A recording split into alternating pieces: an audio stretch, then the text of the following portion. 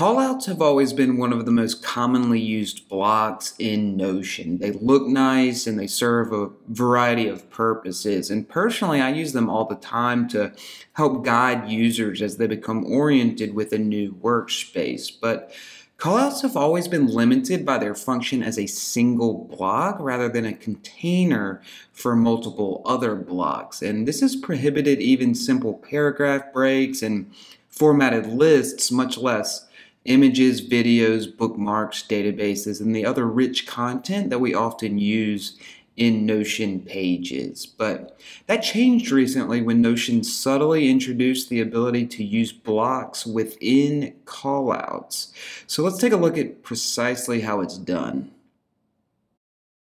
So, like I said, one of my favorite uses of callouts is to provide guidance to help users become oriented with a new workspace. And they're particularly helpful within database templates. So, most of the databases I create include a projects database and a related tasks database. And then within the project template is a linked database that displays the tasks that are related to that particular project. And for standardized projects, I often have pre configured tasks within a toggle. So the user can kind of selectively choose the tasks, drag them into that tasks database.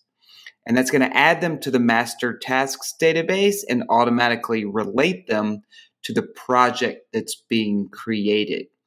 So to provide the user with instructions for doing this, I typically include a toggle above the tasks database. And in the past, I've had to get creative with line breaks and em dashes, but with the ability to include blocks within callouts, I can now nicely format numbered lists and use other features to provide helpful information to the user.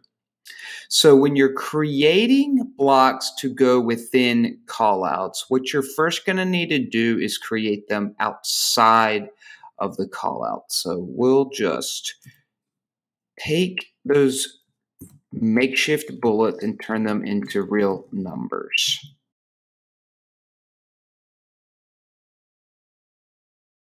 We'll highlight them all to choose that yellow color and then we can drag them back into the callout block, and that gives us our nicely formatted numbered list. Now, there's another way of doing this. Rather than creating the callout and creating the independent blocks to go inside of it, we can just start with a child page of this container page. So we'll create a page and then as the title for the page, we can use the top line of the callout.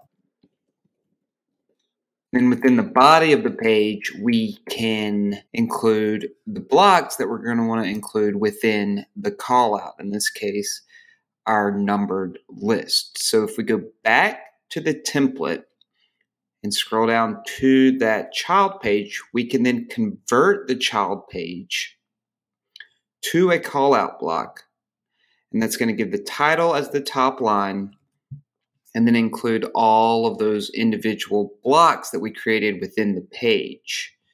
So we can choose our nice yellow color here.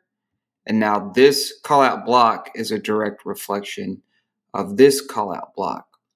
So one other consideration that you might make when using blocks within callouts is toggles. So instead of having your entire call out visible if you have multiple items or multiple kind of sections within your call out that you want to include you can use a toggle block to fold up some of those items so that you're never viewing everything at a single time.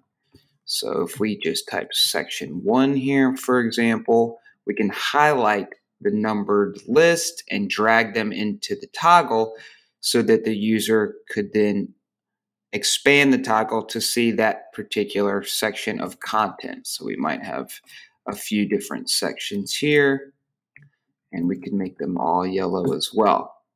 And then one other consideration is that you might want to wrap your callout block in a synced block. And that way, Anytime you want to make an update to these instructions, you can do so in any instance of that synced block, and the change will be reflected in every other instance of the synced block, whether it's right here in this template or within a project that you've already created.